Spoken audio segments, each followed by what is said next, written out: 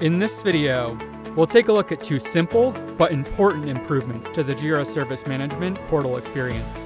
We've introduced a custom login welcome message and the ability to customize service project layout.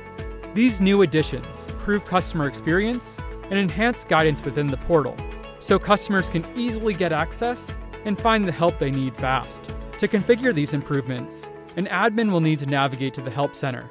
Within the customization menu, we're presented with the two additional customization options. We'll start with our login message. In our example, we'll add a brief welcome message and a message guiding our customers to use their company email login credentials, as well as a support email to contact if our customer is having trouble logging in. Login messages can also be made available in multiple languages if so desired. We'll save our changes and confirm that our login page displays the custom message. Next, we'll take a look at the addition of portal layout customization. Portal service projects are automatically sorted by two criteria, popularity or alphabetically.